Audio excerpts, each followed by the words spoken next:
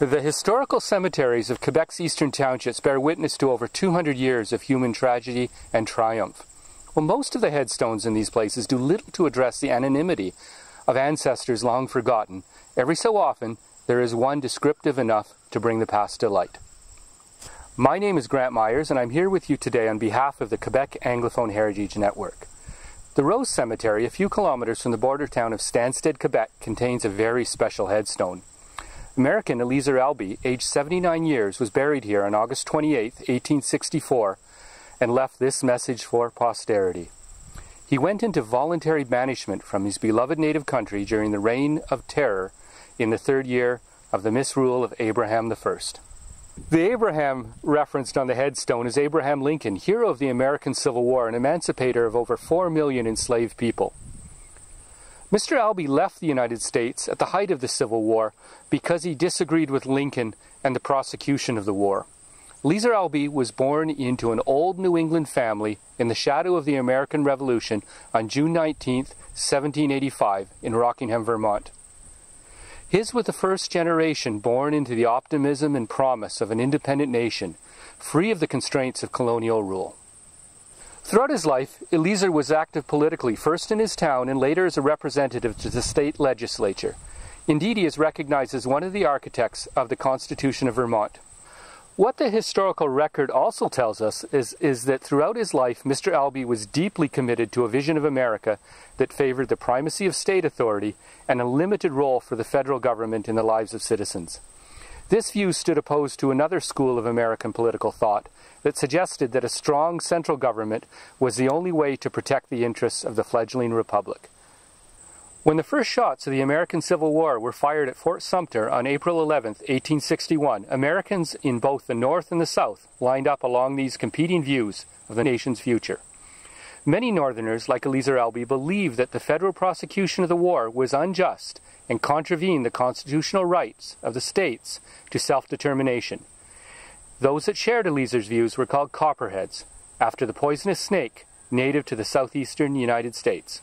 During the war, like many northern states, Vermont was firmly Republican and stood by Lincoln in the war. In the newspapers of the day, Copperheads and Copperhead sympathizers were reviled and branded as traitors, and there was likely nowhere to hide. This was an era when one's political affiliation and one's vote was a matter of public record.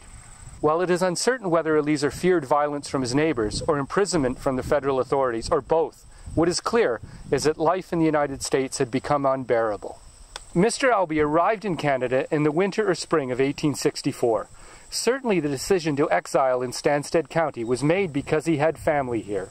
His older sister Sarah and her husband Timothy Rose had immigrated to the country more than half a century earlier and eventually settled on the land surrounding this cemetery.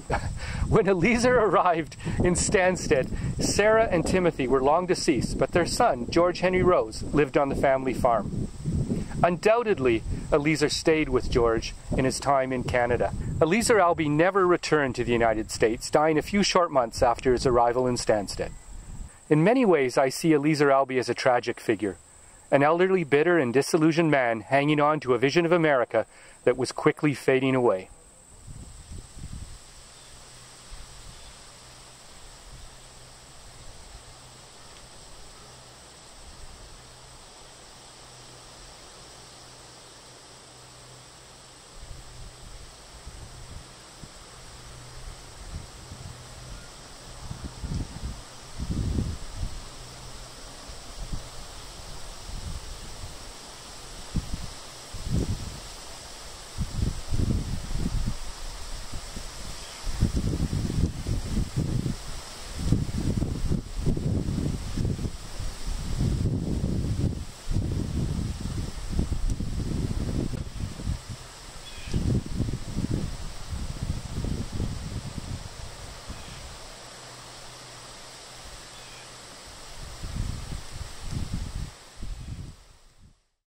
Try that again.